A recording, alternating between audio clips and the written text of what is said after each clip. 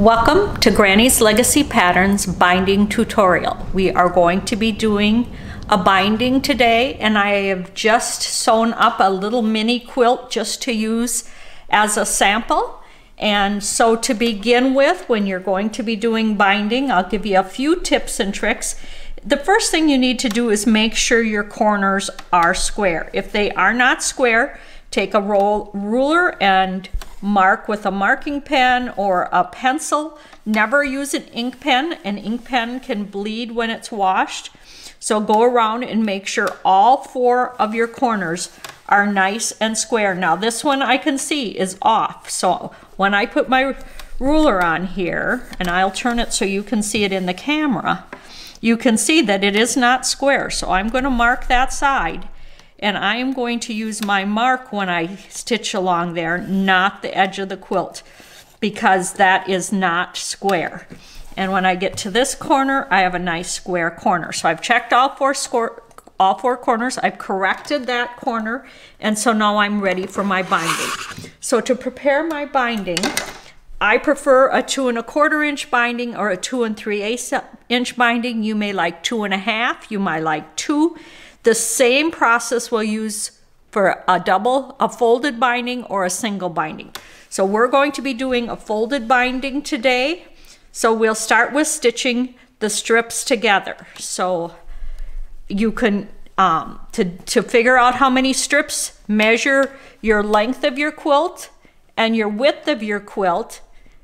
So your length times two. So if your length is 20 times two, that would be 40.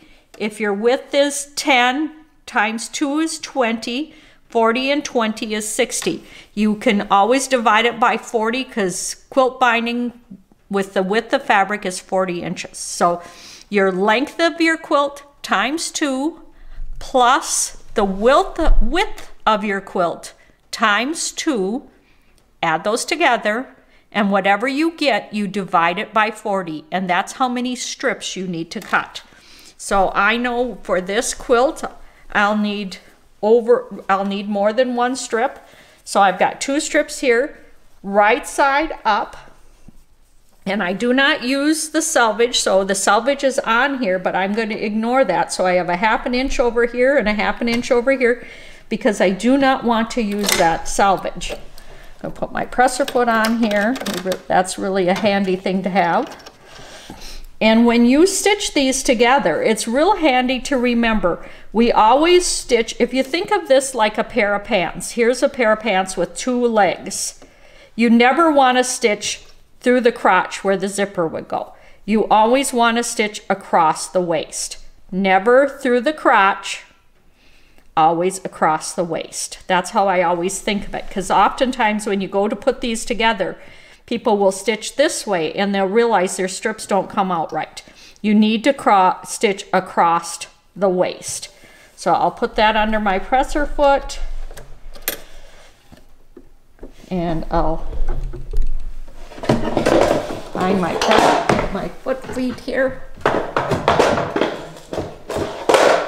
and just stitch right across there from one corner to the other. You may want to mark that. If you're concerned about getting it straight, you can mark it with your chalk pencil.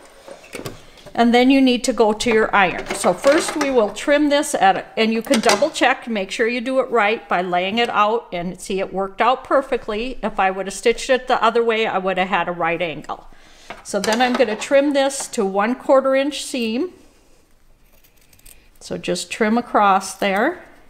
And then we go to our iron and we do some ironing. So we will next go to the iron. Now as we prepare for pressing, it's best to take your time when you're pressing and do a very careful job and get it exactly pressed in half. If you're sloppy at this part, your binding may not be as nice and professional as you would like it to look. So take your time and make sure you're pressing exactly in half. And you press that strip all the way in half, all the way to the end. And sometimes you have yards and yards of binding. For us right now today, we're just doing this little mini quilt. so we won't have very far to bind. And if you choose when you get to these little mouse ears, you can trim those off. I ignore them, but you can certainly take and trim that straight. So as you take your time and get your piece ironed exactly in half. So if I were going to do a single fold binding rather than a double fold binding, I would press over just one side a quarter of an inch. But because we're doing the, the double fold, if you did a single fold binding, if you were going to do a finer binding on a quilt, a little mini quilt, and you wanted something finer, then you would want to use a about a quarter, one and an inch, one, one and one quarter inch. You would want to fold over a quarter inch on one edge. So now we're our double fold binding, we have everything in half and we're ready to go to the sewing machine. So a walking foot is a must and get to know your walking foot. It's nice to pay attention to the lines on your walking foot this particular line means it's one quarter inch to the to in front of the needle. This one here horizontally. One quarter inch in front of your needle. You also need to know the one here is one quarter inch. This one is one quarter inch, so get to know your pressing foot. If your pressing foot does not have, your walking foot does not have these marks, get to know them, maybe use a little ruler or a little black Sharpie and mark your quarter inch because this quarter inch in front of your needle is very important. It's also very important to use a walking foot because we have so many layers and you don't want to push away that top layer. Unless you have a machine that has a built-in walking foot, you'll want to prepare for a walking foot. So I'll remove my foot and put my walking foot on. When you put your walking foot on, you also need to know that the it has the little leg thing has to go on the screw. So, all right, so I'm prepared with my walking foot. Where to begin? I always want to begin on a side where I, I usually do the bottom of my quilt I start on. But here I'm going to use a longer side because it's so short of a distance between here and here. So I'm going to use the side and I'll need about 8 to 10 inches, maybe 12 where I'm going to join.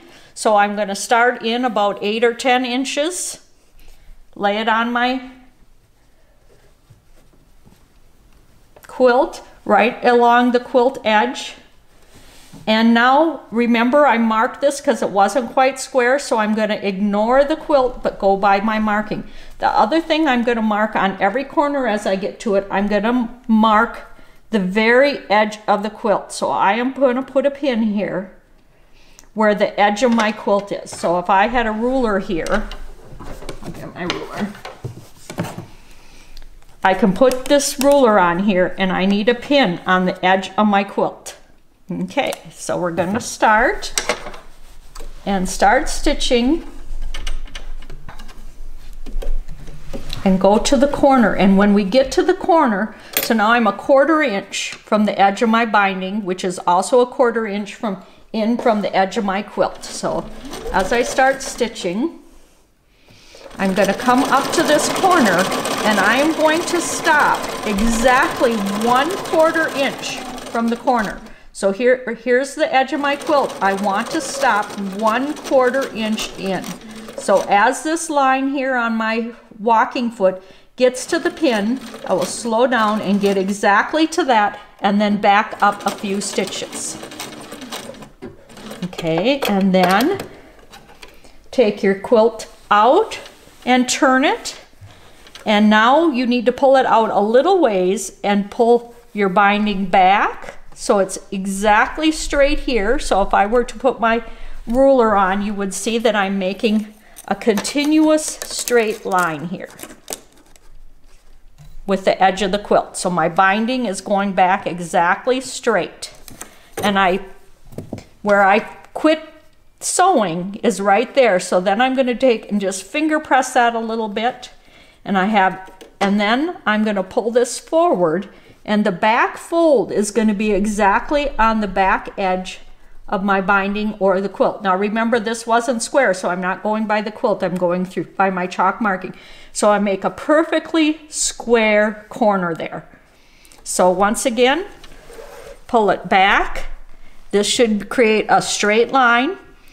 Finger press this, make sure that this is pulled back clear to that last stitch that you put in.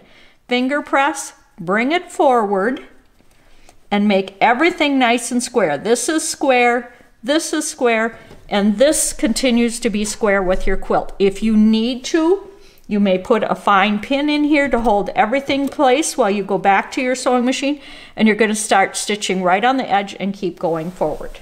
So as we come in here, we're gonna quarter inch from the edge again. I'm gonna just start stitching, and I'm gonna go to the next corner. And we're gonna do this four times, so you'll get good practice. So as we come to this corner, I remember I'm going to put a pin right on the edge where the edge of my quilt is. And if you need to use a ruler to find that, you can lay your ruler on here and put your pin in exactly where that edge of that quilt is. So quarter inch all the way. Now we're not sewing to that pin, we're sewing a quarter inch in from that pin. So we're sewing to here, one quarter inch in from that pin. We're sewing not to the pin, but we're stopping one quarter inch short of the pin. So clear to there, and I use my walking foot as my guide. When I get to the pin, I back up and turn. Now as I turn, once again, the binding goes back to create a straight line. I make sure I fold this clear back to that last stitch taken. Put a little finger press in there, fold it forward. And the, it's very important that this back fold is equal to the back, this last side of your quilt that you stitched. So this is square. See how those folds are exactly right? This is square with the back of your quilt. This is square with this side. So three sides squared makes a perfectly square corner on your binding. Then we're back to stitching. And it's important if you've got to keep your binding, you know, pull this, don't pull so tight that you wrinkle your binding, but you want to keep this nice and taut as you go so that your binding doesn't get wavy. So now we're coming to the corner again. And as we come to the corner, once again, we're gonna mark that. So I'll lay my ruler on here. And then we'll put the pin in exactly on the very edge of the quilt. And I stop one quarter inch before the pin. So I'm gonna stop back here one quarter inch before the pin. So here we go. I'm going to use the markings on my walking foot because I know that's exactly a quarter inch from, they line up with the pin. Back up. Now we'll do this corner.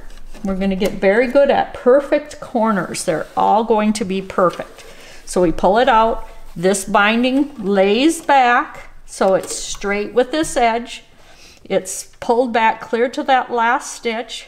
Finger press that corner fold it back down again. This edge is folded exactly in line with this side of the quilt. The two corner folds match up exactly right. This side is exactly with this side of the quilt, and if you need to put a little pin in there, you certainly can.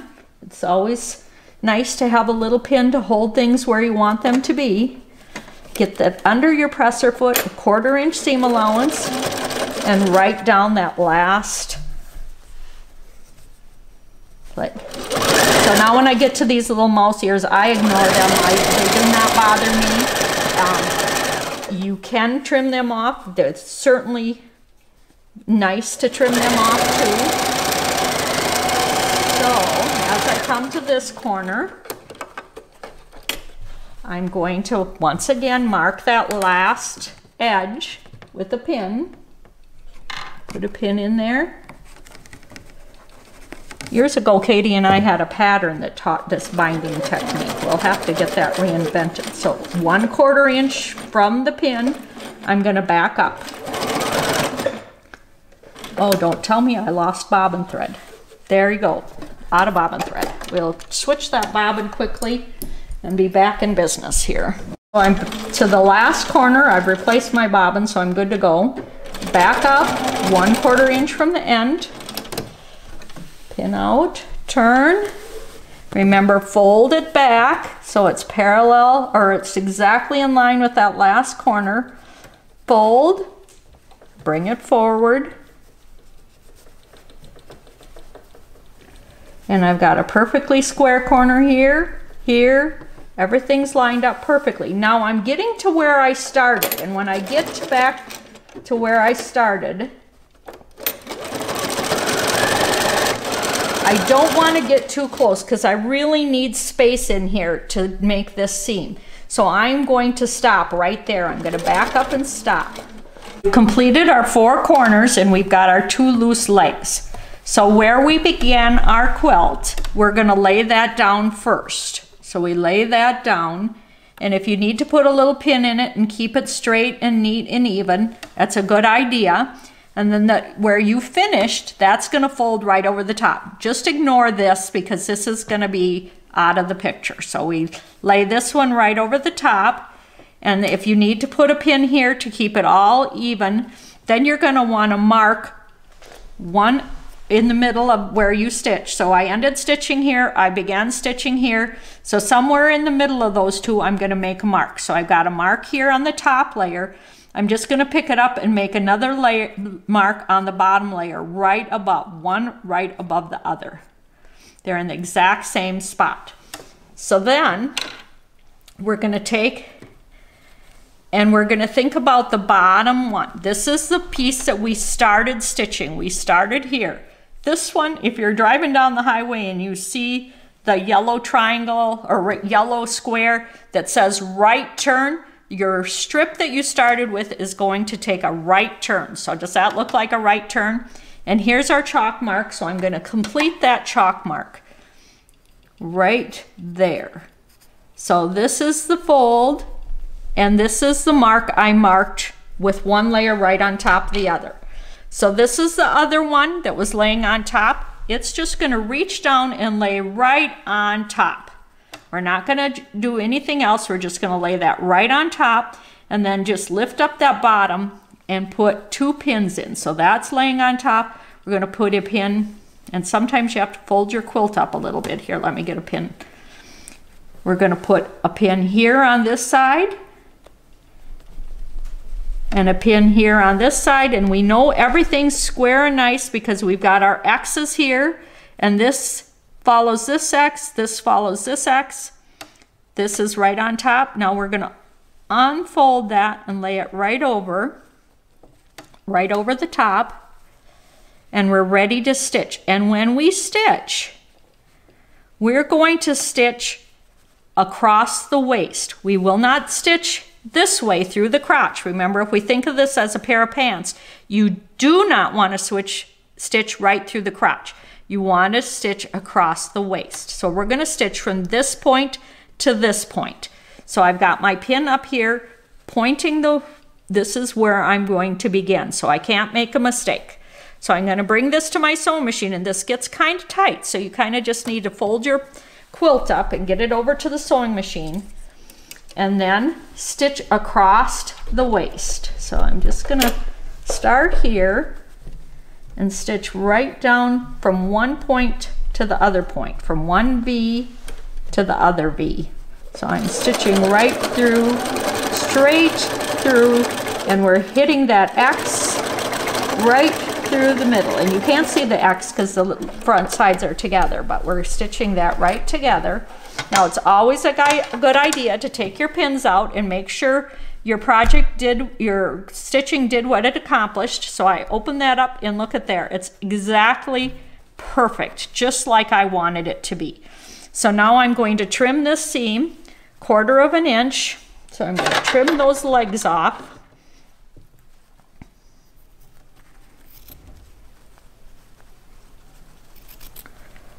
And I just finger press that seam. You can get your iron and get that ironed, but I only finger press that. So I lay it open. Well, I try to lay it open. It's just misbehaving today. So you want to flatten that seam open. So you can just take your fingernails and make that flat seam. All the way. And then it's going to fold exactly on the fold where you had it before. And you can see those chalk marks match up perfectly. We're going to finger press that and that is absolutely perfect. Now we just have to finish that stitching on that side. So a quarter of an inch. It's so simple.